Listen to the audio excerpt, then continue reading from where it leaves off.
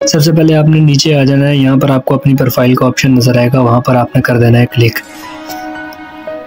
जैसे ही आप क्लिक करेंगे तो आपके सामने आपकी प्रोफ़ाइल ओपन होकर आ जाएगी, जैसे कि मेरे पास ओपन होकर आ गई है। अब इसमें दो चीज़ें समझनी आपके लिए ज़रूरी है। यूज़र नेम जो होता है वो ये ऊपर ऊपर जो लाइन आ रही है इसे हम यूज़र नेम कहते हैं। जबकि ये नीचे जो प्रोफ़ाइल पिक्चर के नीचे वाला नेम है इसे हम कहते हैं प्रोफ़ाइल नेम इसे कहते हैं। अब ये समझ लें कि आपने यूज़र नेम चेंज करना है या प्रोफ़ाइल नेम चेंज करना है। अगर तो आपने यूज़र नेम चेंज करना है तो उसके लिए भी मैं वीडियो इस, इसी में बताऊँगा और अगर आपने प्रोफ़ाइल नेम चेंज करना है तो वो भी मैं इसी में बताता हूँ।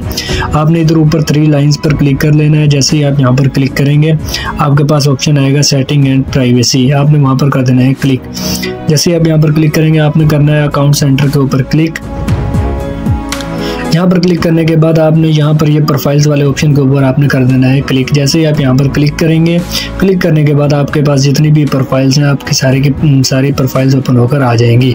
आपने जिसका नेम चेंज करना है, आपने इसके ऊपर कर देना है क्लिक जैसे कि मैं लास्ट वाले का नेम चेंज करने वाला हूँ, मैंने इसके ऊपर करना है क्लिक